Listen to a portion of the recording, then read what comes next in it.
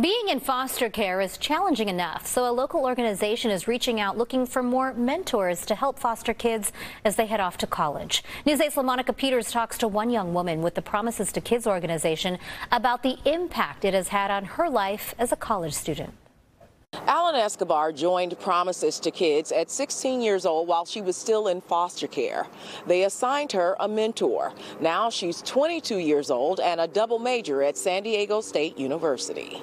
I didn't want to go to college. I didn't think I was college material. I was like, eh, I don't know if it's for me, to be honest. Alan Escobar says she's thriving as a SDSU college student now, and she credits her mentor with helping her along the way.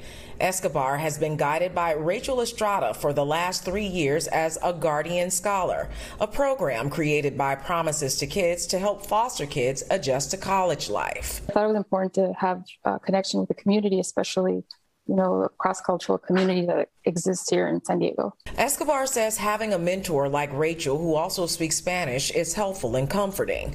Promises to Kids is now recruiting more mentors who are Latinx and Black to meet the needs of the children, partnering foster kids with people they can also bond with culturally in their communities. My mentor Rachel, she chose, you know, to to listen to me, to be there for me, and it's important because as I said before, we need that connection. Um, we need, you know, cultural connection. Promises to Kids reports that 83% of its Guardian scholars are staying in college and graduating.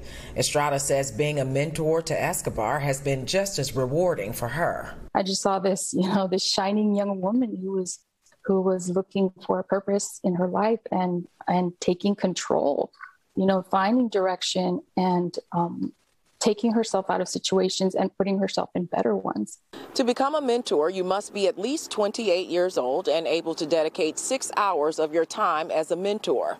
For more information about becoming a mentor, you can go to our website at cbs8.com.